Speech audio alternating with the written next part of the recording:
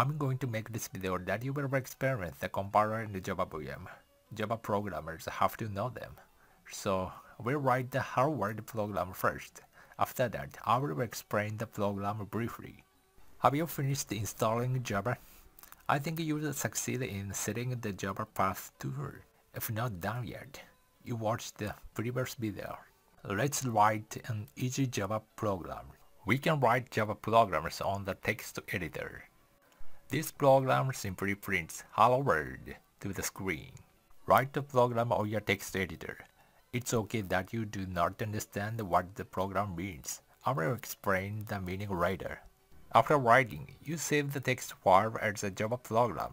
Change file extension as a .java. This class name is hello world, so you must save the file name as the hello.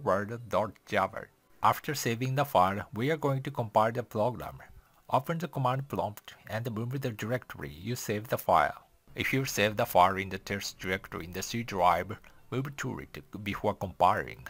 If you do not move, you cannot compile the Java file. The reason is that Java compiler cannot find the file. After moving, type the command to compile the file. Java class file is a bytecode file that Java VM can execute. We must compile the Java program files to use it. If you succeeded in compiling the file, you can see the class file in the same directory.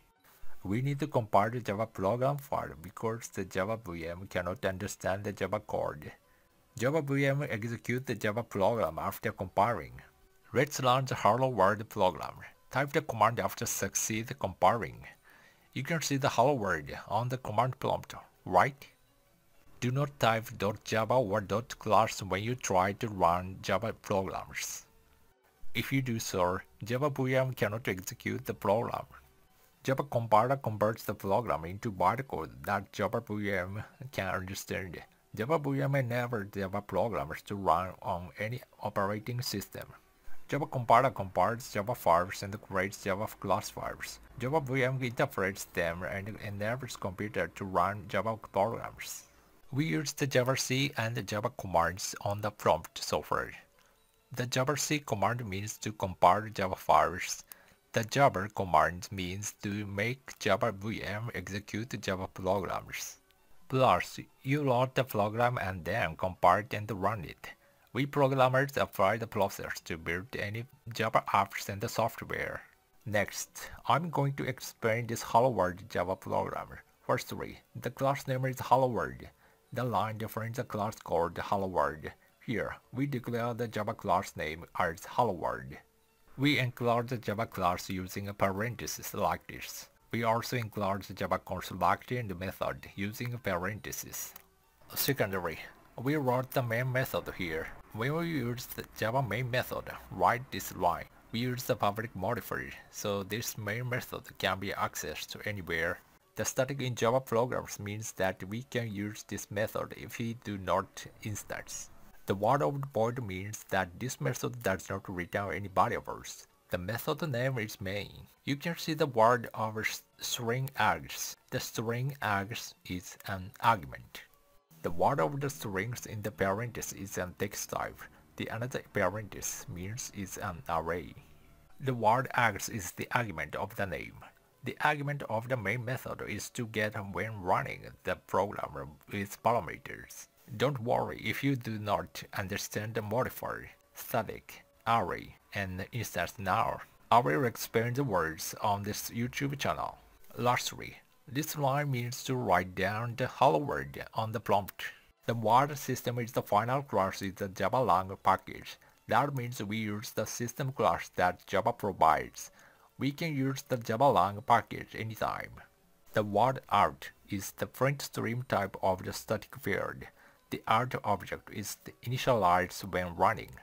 The word println is a method of print stream. This method outputs arguments on the default output field. The field is the command prompt here. We must put semicolon to the end of the line. An error occurs if you forget to put it. To summarize, we run the Hello World Java program. The Hello World program running means to create the Hello World instance and execute the Hello World main method.